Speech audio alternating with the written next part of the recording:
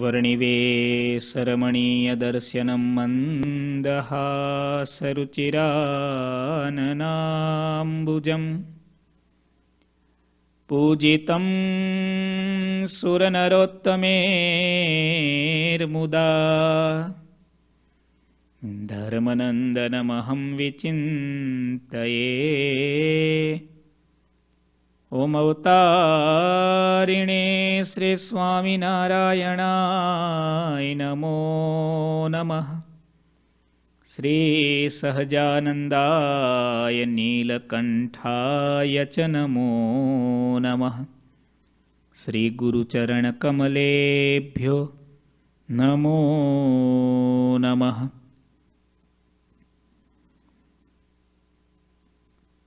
બોલો શ્રી સ્વામિનારાયણ ભગવાનની જય. શ્રી હરિકૃષ્ણ મહારાજની જય. શ્રી ઘનશ્યામ મહારાજની જય.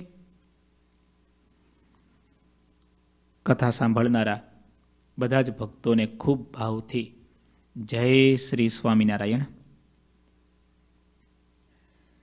શ્રી હરિચરિત્રામૃત સાગર પૂર સાતમું તરંગ એકત્રીસમું. સદગુરુ આધારાનંદ સ્વામી સુંદર મજાનો પ્રસંગ લખે છે. ચાલુ કથા પ્રસંગ થોડો જોઈ લઈએ. સિદ્ધપુરમાં સમયો કરવા માટે શ્રીહરિએ નિર્ધાર કર્યો છે. રામગ્રી ગામમાં મહારાજ બિરાજમાન છે, દેશ દેશાંતરમાં પત્રો લખ્યા છે. પત્રોમાં મહારાજે વિવેક બતાવ્યો છે. જેની વાત મેં કરી હતી. તમને ખાસ મારી ટકોર છે. કે એ દિવસની કથા સાંભળજો. ધર્મનું કાર્ય કરવું પણ કેવી રીતે કરવું? વિવેક છે ને દસમો નિધિ છે. વસ્તુ બહુ નાની હોય. પણ વિવેક જેના જીવનમાં આવી જાય ને, એને બીજા સદગુણ કેળવા નથી પડતા, એની મેતે આવે છે. શ્રી હરિએ વિવેક શીખવાડ્યો છે, પત્રો મોકલ્યા છે, પ્રભુ રામગ્રી ગામમાં છે, ડુમાણા ગામ માટે જવા માટે નીકળ્યા છે, જીવા પટેલ વગેરે ભક્તોએ પરિવાર સહિત પ્રભુની પૂજા કરી, દીકરાઓ પાસે પૂજા કરાવી, ભાઈઓ પાસે પૂજા કરાવી અને મહારાજને પ્રાર્થના કરી, પ્રભુ અમારા પરિવારમાં એક સરખી રુચિ રહે એવી કૃપા કરજો. મહારાજે રૂડા આશીર્વાદ આપ્યા અને મહારાજે અડધી રાત સુધી કલ્યાણકારી વાતો કરી અને અંતે એમ કહ્યું, શું કહ્યું? હવે સાંભળીએ. નિમિત્ત માત્ર સો હમ હી સબ કારણ બાત એસી કહાયે. કારણ હોય કહે और प्रतापा ऐसी बात जानना અમાપા નિમિત્ત માત્ર સો હમ હી રહાયે ભગવાન શ્રી હરિ કહે છે અમે તો નિમિત્ત છીએ અંતે કરતા હરતા તો અમારા ગુરુદેવ રામાનંદ સ્વામી છે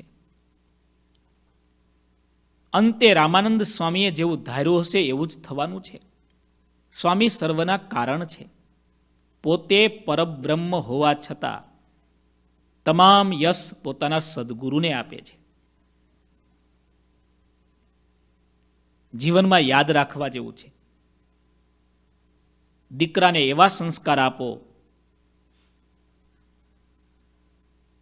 કે દીકરો ગમે ત્યાં પહોંચે કદાચ વડાપ્રધાનના પદ સુધી પહોંચે, તો પણ એ પુત્ર ક્યારેય માતા પિતાના સંસ્કારને ભૂલે નહીં.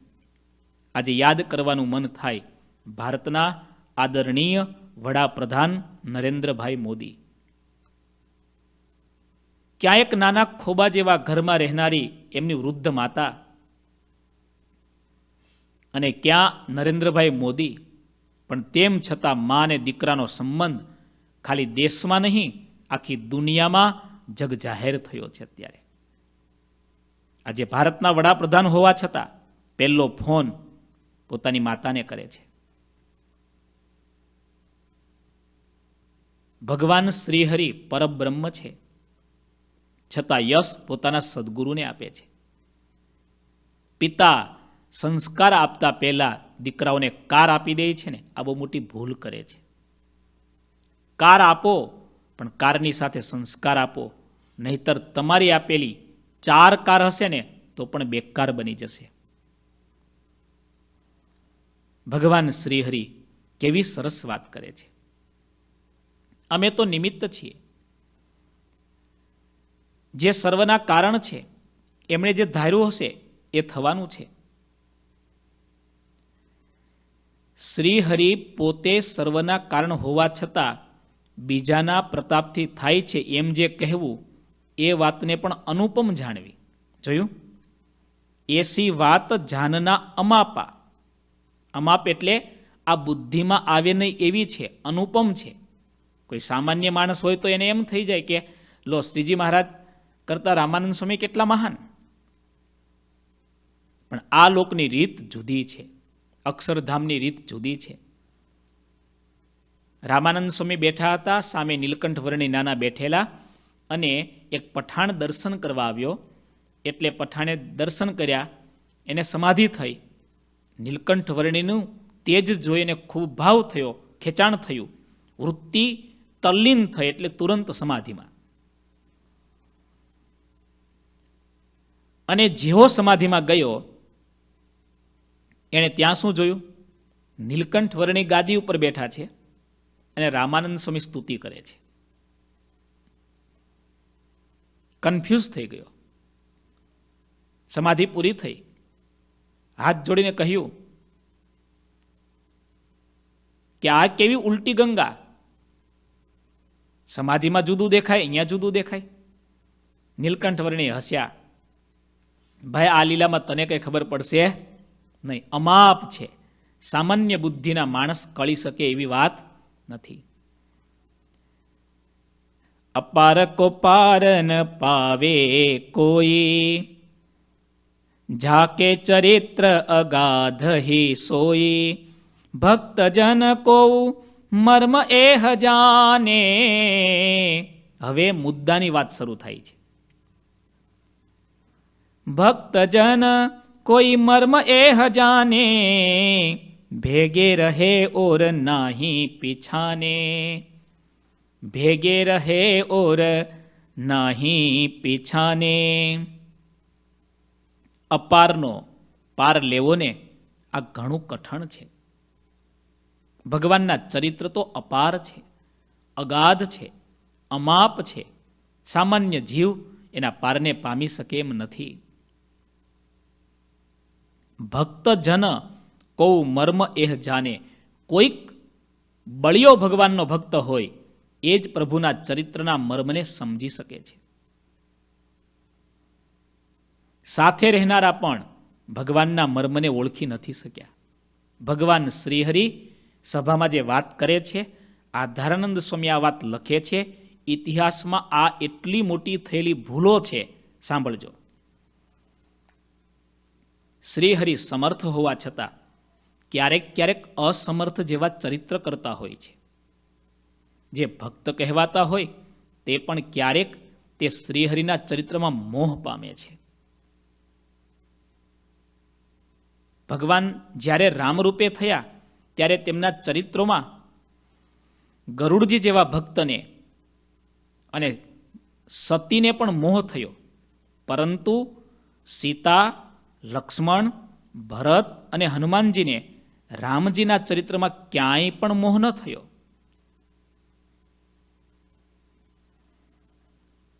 ઇતિહાસમાં આપણે જાણીએ છીએ, ભગવાન રામ અને લક્ષ્મણ લંકામાં આવ્યા છે, યુદ્ધ શરૂ થયું છે, રાવણનો પુત્ર મેઘજીત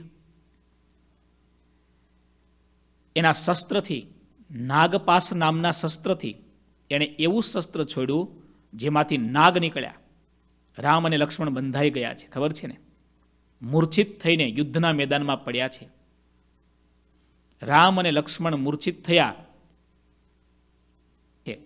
ગરુડજી આવે છે. ગરુડજીના ભયથી પેલા સર્પ એ છૂટા પડે છે. લક્ષ્મણજી જાગૃત થાય છે, પણ ત્યારે ગરુડજીને અભિમાન આવ્યું છે. એને એમ થયું કે દુનિયા રામને ભગવાન સમજે છે, પણ રામને પણ મારી જરૂર પડે છે.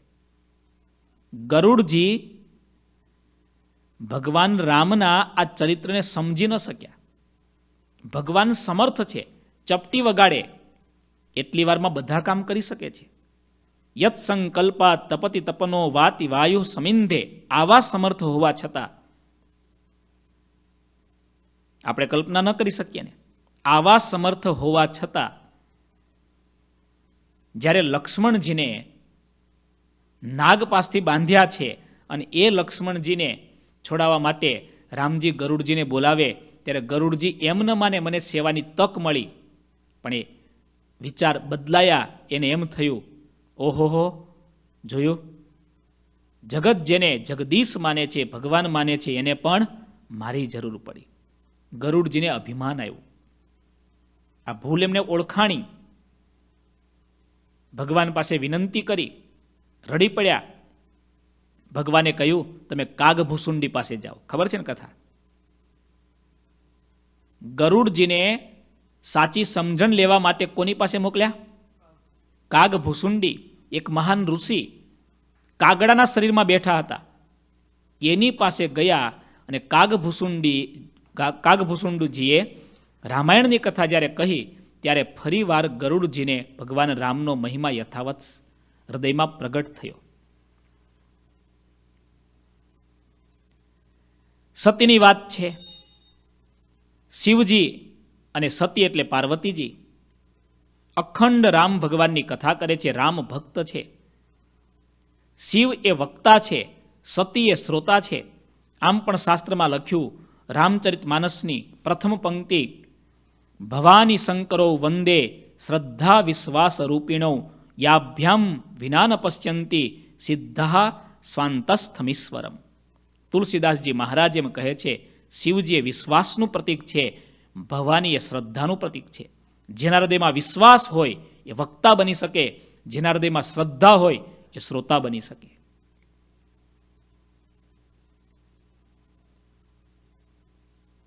શ્રદ્ધાવાન સતી ભગવાન રામના ચરિત્ર સાંભળે છે. સીતાની પાછળ મુગ્ધ બનેલા રામ રડે છે. આ ચરિત્ર સાંભળી અને સતીના મનમાં સંશય થયો. પાર્વતીજીએ પ્રશ્ન પૂછ્યો કે, રામને તમે પરબ્રહ્મ કહો છો, ભગવાન કહો છો? તો એક સ્ત્રી પાછળ આમ પાગલની જેમ રડે, ઝાડને પૂછે તે મારી સીતા જોઈ છે. આને પરબ્રહ્મ કેમ કહેવાય? આવો સંશય થયો. ભગવાનના ચરિત્રને સાંભળીને મોહ થયો. આપણે જાણીએ છીએ, કથા ઘણી લાંબી છે, પણ મારે જે વાત કરવી છે ને, રામચરિત માનસની આ કથા દરેકે દરેકે દરેક ભક્તએ જીવનમાં યાદ રાખવા જેવી છે. ક્યાં સતીનું સ્થાન શિવજીની અર્ધાંગના છે, મહાસતી છે.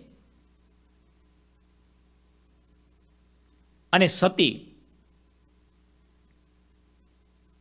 એને કથા કરવાનું શિવજીએ બંધ કર્યું. શિવજીએ કહ્યું, દેવી, રામ એ રામ છે. એ ગમે તેવા ચરિત્ર કરે છતાં એ ભગવાન તો ભગવાન છે. ત્યારે સતીએ વધારે ડાપણ કર્યું. પ્રભુ, તમે માનો, પણ હું પરીક્ષા વિના ન માનું. શિવજીએ કહ્યું, સારું જાઓ તમે પરીક્ષા કરો. પરીક્ષા કરવા માટે સતીએ સીતાજીનું રૂપ લીધું. સીતાજીનું રૂપ લઈ અને ભગવાન રામ જ્યાં જંગલમાં વિચરણ કરી રહ્યા છે, ત્યાં સામે આવે રામ તો અંતર્યામી છે. સીતાના રૂપમાં સતીને ઓળખી ગયા છે અને હાથ જોડીને કહ્યું છે, માતાજી, આપ એકલા છો? અને ભગવાન ભોળાનાથ કેમ દેખાતા નથી? સીતાના રૂપમાં રહેલા સતીને રામ જ્યારે ઓળખી ગયા છે, ત્યારે સતી ભોઠા પડી ગયા, શર્મિંદા બની ગયા અને ત્યારે ત્યાંથી અદ્રશ્ય થયા. શિવજી પાસે પહોંચ્યા, વાત સ્વીકારી લીધી કે રામ ભગવાન છે, હવે બરાબર વાત છે, ઓળખી ગયા, પણ તેમ છતાં વિચારો, મનમાં સંશય હતો. સંશય કર્યો પરબ્રહ્મને વિશે અને સીતાજીનું રૂપ ધારણ કર્યું, શિવજી ઉદાસ થઈ ગયા. પછી ક્યારેય પણ સતીને પોતાની બાજુમાં ન બેસવા દીધા.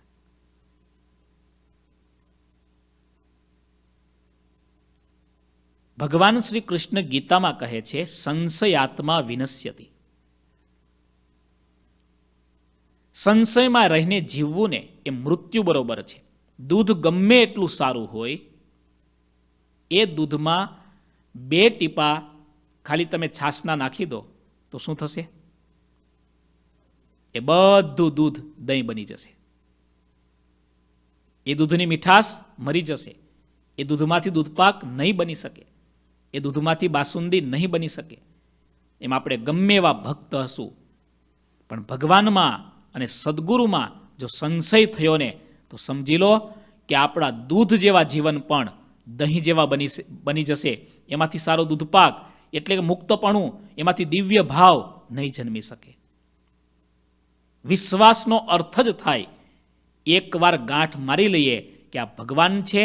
વચનામૃતમાં શ્રીજી મહારાજે દ્રષ્ટાંત આપ્યું કે એકવાર આ લીમડાનું વૃક્ષ જોયા પછી કામ વ્યાપે, ક્રોધ વ્યાપે, પણ ક્યારેય એમ ન થાય આ લીમડો હશે કે નહીં હોય, એવી રીતે ભગવાનના સ્વરૂપમાં નિરુત્થાનપણે જે નિશ્ચય, મહારાજે આવું દ્રષ્ટાંત આપ્યું. નિરુત્થાનપણે નિશ્ચય. કોઈ સંશય નહીં એમાં. આ નાશવંત જગત છે. એમાં આપણે નિસંશય થઈને બેઠા છીએ. આ બધું નાશ થવાનું છે. છતાં શું એનું શાશ્વત? અને જે પરમાત્મા પ્રગટ છે, પરબ્રહ્મ છે, તેમ છતાં એમાં હા નથી પડતી.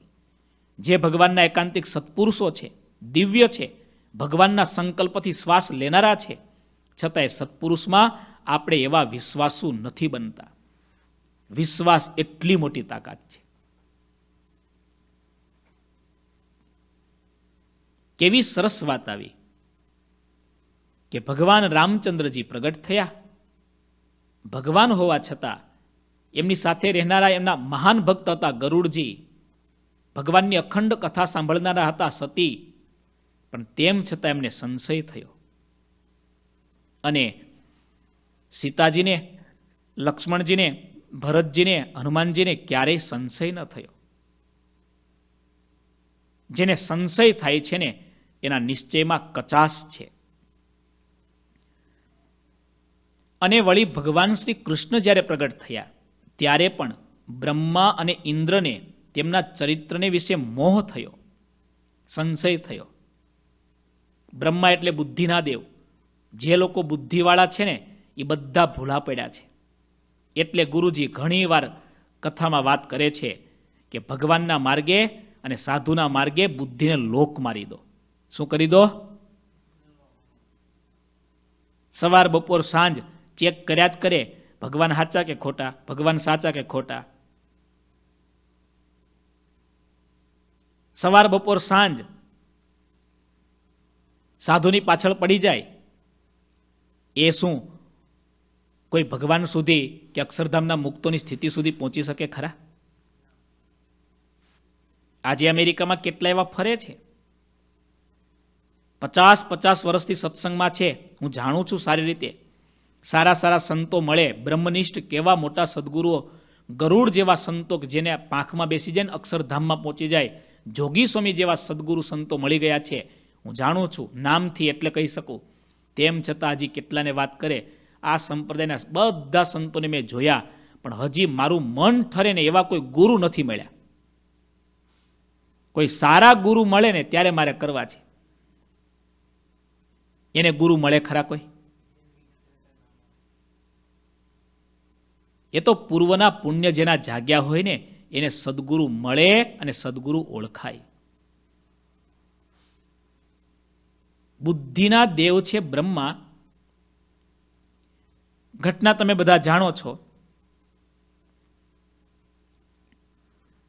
ભગવાન શ્રી કૃષ્ણ પ્રગટ થયા છે એમ જાણી દર્શન કરવા આવે છે. બ્રહ્માજી, એ જ સમયે ભગવાન શ્રી કૃષ્ણ ગોપ બાળકો સાથે, એટલે ગોવાળિયાઓ સાથે યમુનાના કિનારે બેસી જમવા બેઠા છે. ગોળ કુંડાળામાં જમવા બેઠા છે. અને ગોવાળો તો કેવા હોય? ભરવાડના દીકરાઓ કેવા હોય? જાડા કપડાં જાદી બુદ્ધિ ખાવાનું લાવ્યા છે? એકાબીજા એકાબીજાનું જમેલું એકાબીજા જમે છે. ગોવાળિયાનું એઠું ભગવાન કૃષ્ણને ભગવાન કૃષ્ણનું એઠું ગોવાળિયાઓ જમે છે. આવું દ્રશ્ય કોણે જોયું? બ્રહ્માએ જોયું. અને બ્રહ્માની બુદ્ધિ તો ભાઈ બુદ્ધિના દેવ છે ને. અવળી શરૂ થઈ. દેવતાઓ આને ભગવાન માને છે. આ કાળિયો આ ચોર, આ કપટી, આ ભગવાન કહેવાય? આવો સંશય કોને થયો? બ્રહ્માને થયો. અને બ્રહ્માએ નક્કી કરવાનું ભગવાન પણ ખુલ્લું કરી નાખો. ભાગવતજીની આ પ્રસિદ્ધ કથા છે. ડોંગરેજી મહારાજના શબ્દમાં કથા સાંભળો તો ખ્યાલ આવે. અસુરોની કથા સમજી શકાય એવી છે. અઘાસુર આવે, બકાસુર આવે, ભગવાન શ્રી કૃષ્ણ સાથે યુદ્ધ થાય ભાગવતજીની અમુક કથાઓ છે ને એટલી માર્મિક છે ને સમજવા જેવી છે. અસુરની કથાને સમજી શકાય છે, પણ બ્રહ્માની કથા સમજવીને એ અઘરી છે. કારણ કે બ્રહ્માની કથા એટલે ભક્તની કથા છે, આપણી કથા છે. જે ભાવથી મંદિરે આવે છે ને એની કથા છે. બ્રહ્મા ભૂલા પડ્યા, ત્યાં સુધી વાંધો નહીં. સતીને સંશય થયો, ત્યાં સુધી વાંધો નહીં. રામની પરીક્ષા કરવા સતી ગઈ. અને પરીક્ષામાં કેવી મોટી કપરી પરીક્ષા સીતાનું રૂપ લીધું. બ્રહ્માએ ભૂલ શું કરી? સંશય તો થયો. ભગવાનપણાની સામે ચેલેન્જ કરી. જે ગોવાળો હતા, ગાયો હતી, એ બધાને ત્યાંથી ઉપાડ્યા બ્રહ્મલોકમાં લઈ ગયા. બધા ગોવાળિયાને ઉપાડીને બ્રહ્મલોકમાં પહોંચાડી દીધા. નક્કી કર્યું, જોઈએ આજે શું થાય. અને ભગવાન કૃષ્ણ ભગવાન છે ને ભાઈ? એને સંકલ્પ કર્યો. જેટલા ગોવાળિયા ગયા હતા, જેટલા વાછડાઓ ગયા હતા, એ બધા રૂપે ભગવાન કૃષ્ણ પોતે થયા. ભગવાન શ્રી કૃષ્ણ જ ગોવાળાના રૂપમાં, ભગવાન શ્રી કૃષ્ણ જ વાછડાઓના રૂપમાં, બધાના રૂપમાં કોણ? ગોપાંગનાઓએ હજારો જન્મો સુધી સાધના કરી હતી. ભગવાનનું પ્રત્યક્ષ સુખ અમને મળે એટલે ભગવાન શ્રી કૃષ્ણ ગાયોના રૂપમાં, વાછડાના રૂપમાં દીકરાના રૂપમાં એક એક ગોપિકાના ઘરે ગયા અને એક એક ગોપિકાઓને પોતાની મૂર્તિનું પ્રત્યક્ષ સુખ આપ્યું. બ્રહ્માએ તો એક વર્ષ સુધી પોતાના બ્રહ્મલોકમાં બધાને રાખ્યા. તપાસ કરવા આવે, વ્રજમાં જોયું. બ્રહ્માજીને થયું. હું ભૂલો પડ્યો. પછી માફી માગી. ભગવાનની સ્તુતિ કરી. ભાગવતજીની પ્રસિદ્ધ સ્તુતિમાંની એક બ્રહ્માની સ્તુતિ છે. હું કહેવાય માગું છું. બ્રહ્મા ભૂલા પડ્યા. ઇન્દ્ર ભૂલો પડ્યો. ભાગવતજીની આ બધી કથાઓ શ્રીજી મહારાજે એક સાર રૂપમાં કહી ભગવાનની સાથે રહેતા હોય તેમ છતાં ભગવાનને ઓળખી નથી શકતા. કોઈક બળિયો ભક્ત હોય એ જ ભગવાનને ઓળખે છે. ભગવાનની ગતિના પારને કોઈ પામી શકતું નથી. માટે એક જ નાનો નિર્ધાર કરો. ભગવાન અને ભગવાનના સંત એને વિશે ક્યારેય સંશય નથી કરવો. ક્યારેય સંશય નથી કરવો. એક ગાંઠ વાળી લો. મહારાજ અને મોટા પુરુષ જે કરે છે ને, એ મારા હિતમાં જ છે. એમાં જ મારું કલ્યાણ છે. માયિક ભાવ હિજેતનો તિતનો મોહ હોત. જ્ઞાન અર્ક ઉદે હોત જબ, મોહતમ તબ હી ખોત. માયિક ભાવ હિજેતનો તિતનો મોહ હિ હોત જ્ઞાન અર્ક ઉદે હોત જબ મોહતમ તબ હી ખોત હવે મોહ ઉપજવાનું કારણ શું છે? એ વાત કહે છે. સંશય થવાનું કારણ શું છે? એ વાત આવે છે. સત્સંગમાં આવતા હોય, સેવા પૂજા કરતા હોય, તેમ છતાં ભગવાનમાં, સંતમાં વારે વારે સંશય થાય, વારે વારે અભાવ આવે, એનું કારણ શું છે? જેટલો માઇક ભાવ હોય છે ને, એટલો મોહ થાય છે. જ્યારે જ્ઞાનરૂપી સૂર્યનો ઉદય થાય, ત્યારે મોહરૂપી અંધકાર દૂર થાય છે. જેટલો માઇક ભાવ પડ્યો છે ને, એટલો મોહ થશે. એટલે કે ભગવાન અને સંતમાં સંશય થાય છે ને, તો સમજી રાખવું જોઈએ, હજી આપણી બુદ્ધિ માઇક છે. અમાયિક એવા પરમાત્માને આપણી બુદ્ધિ નથી ઓળખી શકતી. અમાયિક એવા ભગવાનના એકાંતિક સત્પુરુષને આપણી બુદ્ધિ નથી ઓળખી શકતી. અમાય કેવા ભગવાનના આ ભક્તોને સત્સંગ મેં અબ આયે હે જે તે, સંત હરે જન બાઈઓ જે તે, સબહે મુક્ત અનાદિ એ હે. સ્વભાવ અબ ભૂલ ગયે એહે સબ હે મુક્ત અનાદિ એ હે આ સત્સંગમાં આવેલા તમામ જીવો નાના છે કે મોટા છે? એ અનાદિ મુક્તો છે. આ દિવ્ય ભાવ, આવો મુક્ત ભાવ આપણા આત્માને જે બળ આપે છે ને, એ સંશયથી નથી આવતો. પણ સંશય એટલા માટે થાય છે, કારણ કે આપણા, આપણામાં માયિકતા ભરી છે હજી. માયાનો ભાવ ભર્યો છે. માયાના ત્રણ ગુણ ભર્યા છે, માયાની આસક્તિ ભરી છે, એટલા માટે આપણે માઇક છીએ, એટલા માટે આપણને સંત અને ભક્ત માઇક દેખાય છે. આપણે જ્યારે દિવ્ય બનીશું ને, ત્યારે સંત અને ભક્ત આપણને કેવા દેખાશે? દિવ્ય દેખાશે. ચાર હરિભક્તો દર્શન કરતા હોય મહારાજના. એક સાથે. એક જ સરખો સમય છે, એક જ સરખી મૂર્તિ છે છતાં ચારે ચારના હૃદયમાં ભાવ જુદા જુદા થાય છે. કારણ શું છે? પોતાના હૃદયમાં જેટલો ભાવ છે, એટલો જ ભાવ ભગવાનના જ્યારે દર્શન કરે છે ત્યારે પ્રગટ થઈ શકે છે. સમજો છો ને તમે? અહીંયા ઇલેક્ટ્રિસિટીનો ફોર્સ તો એક સરખો વહે છે. પણ તેમ છતાં તમે દસ વોટનો બલ્બ નાખો, તેમાંથી વીજળી કેટલી આવશે? પચાસ વોટનો નાખશો તો? એટલો આવશે? અને આ હજાર વોટનો હેલોજન છે તો કેટલો આવશે? વાયર એક જ છે. ઇલેક્ટ્રિસિટી એક સરખી વહી રહી છે. પણ તેમ છતાં જેટલી પાત્રતા હોય, એટલી વીજળી પ્રગટ થઈ શકે છે. એવી જ રીતે આપણા જીવનમાં પણ સામેવાળા વિશે ક્યારેક પણ આપણને અભાવ આવે તો પાછું વળીને જોવું જોઈએ. એ સામેવાળાનો અભાવ નથી. આપણી અંદર પડેલા જે સ્વભાવ છે, એ જ અભાવ રૂપે થઈને પ્રગટ થયા છે. સાંભળો ફરી વાત.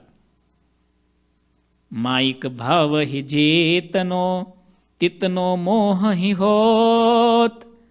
જ્ઞાન અર્ક ઉદે હોત જબ, મોહતમ તબ હિ ખોત.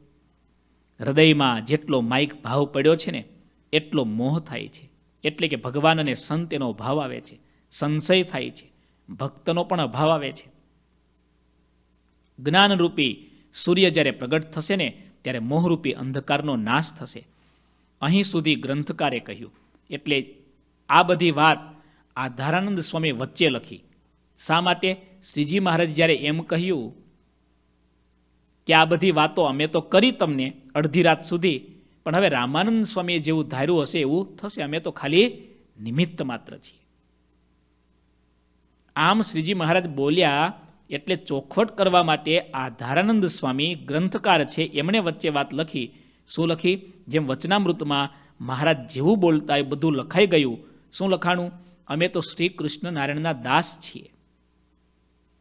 જે મહારાજના શબ્દ હતા એવા બેઠા બેઠા શબ્દ લખાણા. ભક્તપણાએ કરીને મહારાજે ઘણી બધી વાતો સમજાવવા માટે કરી છે. અને અંતે એ ગ્રંથના સંશોધક સંતોએ છેલ્લે બે પંક્તિમાં લખ્યું કે આ વચનામૃતમાં જે શ્રીજી મહારાજે વાત કરી તે બીજા કોઈ નહીં, પોતે જ પોતાના સ્વરૂપની વાત કરી છે. સાંભળ્યું છે ને તમે? વાંચ્યું છે ને તમે? એમ આધારાનંદ સ્વામીએ ચોખવટ કરી. કઈ ચોખવટ? કે મહારાજે પોતે તો પરબ્રહ્મ છે, સમર્થ છે, છતાં આવી રીતે સદગુરુ રામાનંદ સ્વામીને યાદ કર્યા. એક શિષ્ય ભાવની આ વાત છે, લૌકિક ભાવની આ વાત છે અને ભગવાન આપણને શીખવાડવા માગે છે કે આપણે ભગવાનના ભક્ત છીએ તો આ રીતે રહેવું જોઈએ.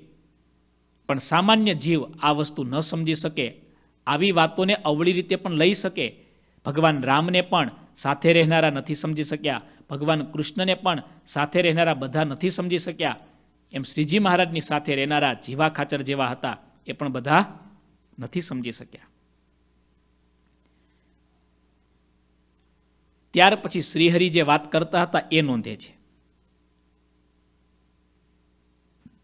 ત્યાર પછી મુક્તાનંદ સ્વામીએ કહ્યું, હે મહારાજ, અધરાત થઈ ગઈ?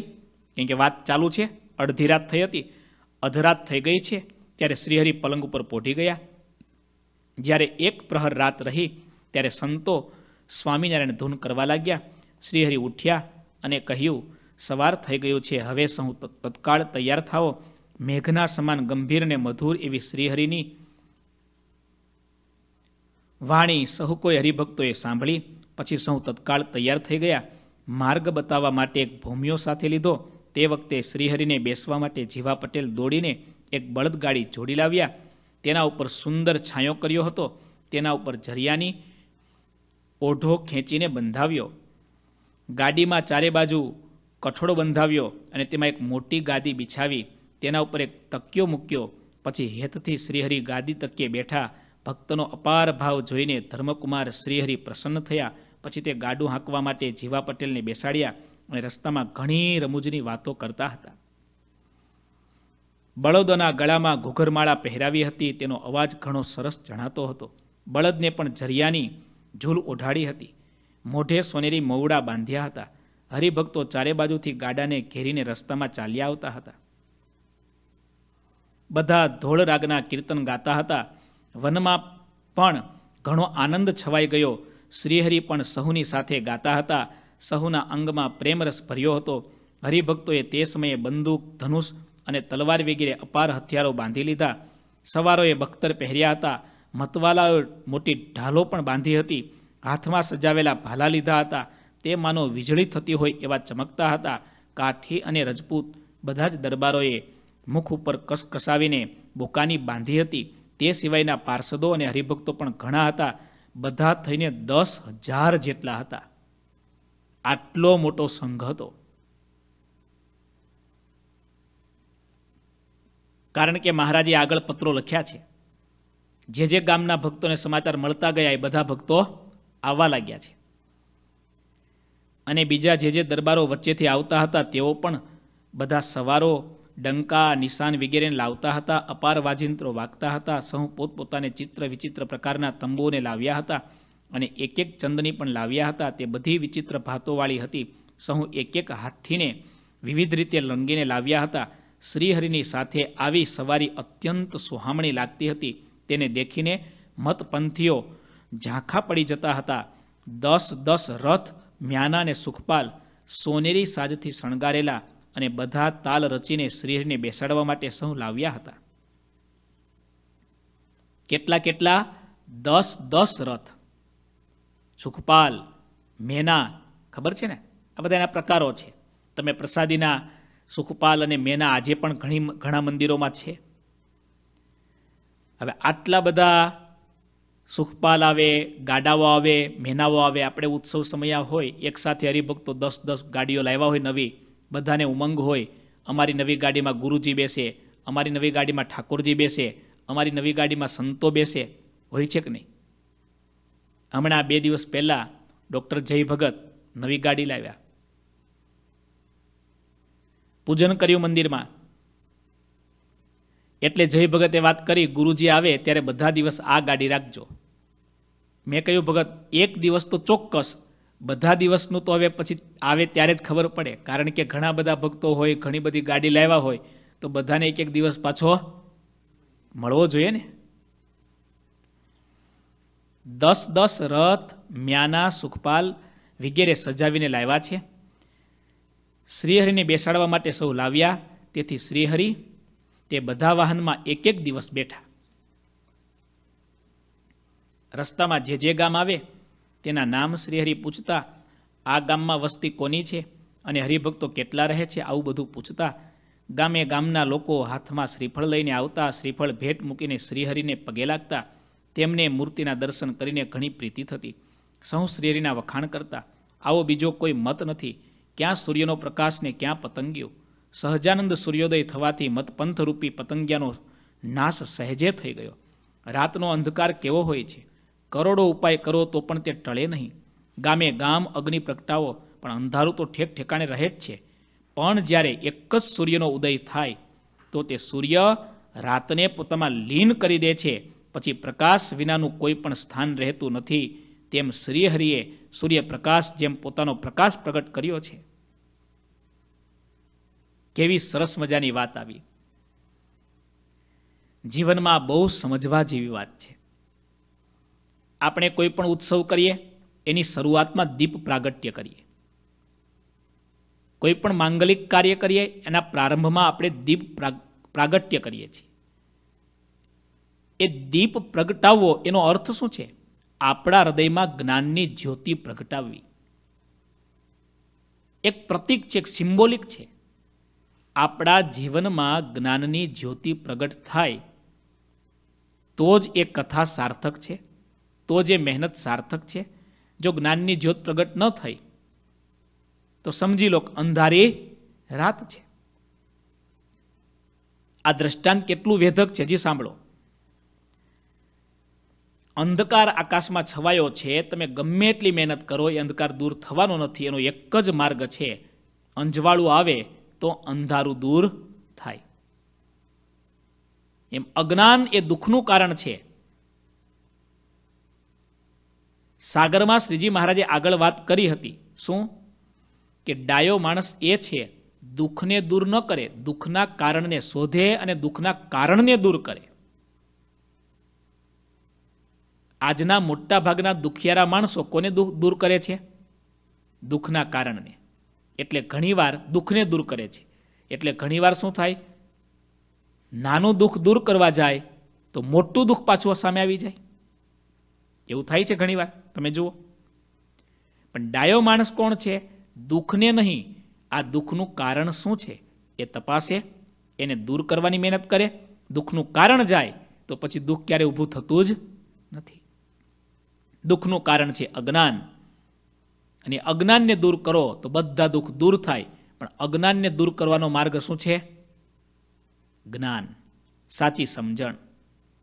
સાચી સમજણ એ સૂર્યનું પ્રતીક છે. ભગવાન શ્રીહરિ પ્રગટ થયા. આ જ્ઞાનનો સૂર્ય એમણે પ્રગટાવ્યો. પોતાના સંતો દ્વારા, પોતાના ભક્તો દ્વારા. શ્રીહરિએ સૂર્યપ્રકાશના જેવો પ્રકાશ પ્રગટ કર્યો. પરંતુ આ સંસારમાં જે ઘુવડ જેવા હોય છે, તે સૂર્ય ઉગે ત્યારે પોતાની આંખોને બંધ કરી દે છે. તેને સૂર્ય વિઘ્નકારી લાગે છે અને રાતમાં તો તે ઘણી મોજ કરે છે. આખા જગતને સૂર્યના પ્રકાશનો અનુભવ થાય, ઘુવડને અનુભવ થતો નથી. જે અધર્મરૂપી રાત્રિ કહેવાય છે, તે અધર્મી લોકોને ગમે છે. તે અધર્મીઓ ધર્મરૂપી સૂર્યને દેખીને તેને મનમાં ચાહતા તો નથી, ઉલટાની અદેખાઈ કરે છે. ઘુવડને અંજવાળું ક્યારે લાગે? રાત્રે. અને આખી સૃષ્ટિ નવપલ્લવિત ક્યારે થાય? દિવસે. કોઈ સાહિત્યકારે સરસ મજાની વાર્તા લખી છે. ઘુવડ બેઠું બેઠું ઊંઘતું હતું. એમાં તો ભાઈ સવાર થયું અને આખી સૃષ્ટિ નવપલ્લવિત થઈ. આખી સૃષ્ટિ હરતી ફરતી, હાલતી ચાલતી, દોડતી, ફરતી થઈ ગઈ. એમાં ખિસકોલી ઝાડ ઉપર ચડી અને કુદમ કૂદ કરે છે. એટલે ઘુવડે કીધું એ ગાંડી, રાત પડી, સુઈ જા. ખિસકોલીને વાત મનાઈ ઘુવડનો ઠપકો સાંભળી ખિસકોલી ખિલખિલાટ હસવા લાગી, અરે ઘુવડભાઈ ઘુવડભાઈ, તમે આમ કેમ બોલો છો? રાત પડી નહીં, રાત તો ગઈ. પણ હવે ખિસકોલીની વાત ઘુવડ ન સમજી શકે અને ઘુવડની વાત ખિસકોલી ન સમજી શકે. આમ આખી દુનિયામાં ખિસકોલી ઘુવડ જેવી દશા છે.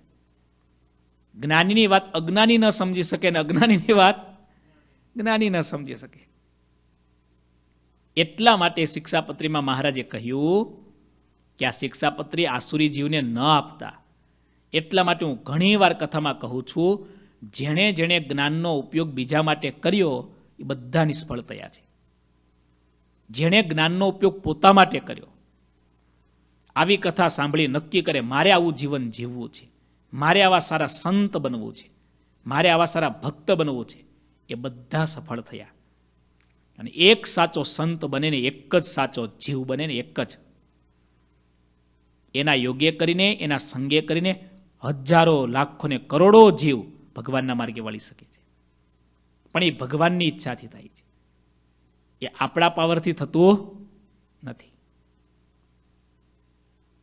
માટે આ કથા વાર્તા તમે સાંભળો છો. સાંભળ્યા પછી બસ આટલું જ કરો.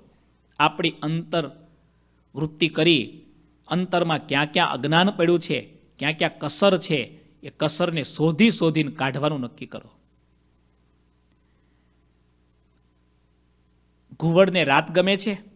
બીજા બધાને દિવસ ગમે છે, અધર્મ છે, રાત સમાન છે, ઘણા લોકોને અધર્મ ગમે, અધર્મી લોકોને, અધર્મી લોકો ઘુવડ જેવા છે, ધર્મી લોકો બીજા બધા જીવ પ્રાણી માત્ર જેવા છે, એને ધર્મ ગમે છે.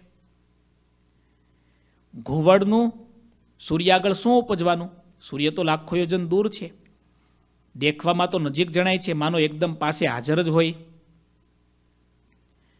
હરિભક્તોને માટે તો શ્રીહરિ પાસે જ છે. તેમના મનોરથોને પૂરા કરે છે. હરિભક્તો જે જે ઉરમાં ભાવના કરે તેવી પૂજા, અર્ચા કે વંદન કરે છે, તેને શ્રીહરિ મનમાં ધારી લે છે. જીતની આરત જાહે, તિતને હે હરિ પાસ તે હે, જીતની આરત જાહે तितने हे हरि पास ते हे कसर जितनी ताहे दूर रहत है तितने ते हो दूर रहत है तितने તે હો ઘુવડને સૂર્ય દેખાતો જ નથી એના માટે સૂર્યનું અસ્તિત્વ જ નથી અને જે આંખવાળા છે એને તો સૂર્ય સામે દેખાય છે એકદમ નજીક દેખાય છે એમ ભગવાન અખંડ છે કણ કણમાં છે સર્વત્ર છે, પણ કોને અનુભવમાં આવે? જે ભગવાનનો ભક્ત થાય તેને તદ્દુરે દૂરે તદ તદંતરસ્ય સર્વસ્ય, તદુ સર્વસ્યાસ્ય બાહ્યતઃ. આપણા વેદોમાં, આપણા ઉપનિષદોમાં કેટલી સરસ વાત લખી. કીર્તનોમાં, એ દૂરી જનિયાને દૂર ઘણા છો રે દૂરી ઘણા છો રે પ્રેમી જનના પ્રાણ છો. જીરે તમે હરી હૈયાના હાર છો. ભગવાન સાચા ભક્ત છે, એના પ્રાણ થઈને એની પાસે રહે છે. દુરીજન લોકો છે, એનાથી ભગવાન દૂર રહે છે. દુરીજન છે, એ કેવા છે? ઘુવડ જેવા છે. દુર્જનો ઘુવડ જેવા છે. અને સજ્જનો એ બધા કેવા છે? દેખતા જીવ પ્રાણી માત્ર જેવા. દુર્જનોને ભગવાન હોય, ભગવાનના દર્શન થાય, ભગવાન મળે, છતાં પણ એને પ્રેમ ન થાય, ઉલટાનો દ્વેષ થાય. ખબર છે ને તમને? કંસને કૃષ્ણ મળ્યા, રાવણને રામ મળ્યા જીવા ખાચર જેવાને શ્રીજી મહારાજ મળ્યા. ભાવ ન જાગ્યો, અભાવ જાગ્યો, દ્વેષ જાગ્યો. ભગવાનને મારી નાખવા સુધી તૈયાર થયા. છેલ્લે એટલી સરસ મજાની વાત કરે છે, હા. જીતની આરત જાહે, તિતને હે હરિ પાસ તેહી. જેના મનમાં જેટલી આતુરતા હોય છે તેટલા ભગવાન તેનાથી પાસે રહે છે. સંપ્રદાયના મહાન સંતો એમ કહે છે,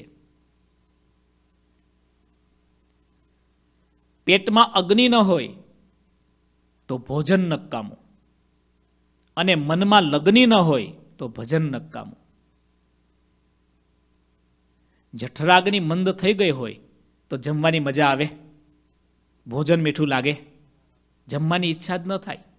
પેટમાં અગ્નિ નથી, તો ભોજન નકામું અને મનમાં લગ્ની નથી, તો યાદ રાખો, ભજન નકામું.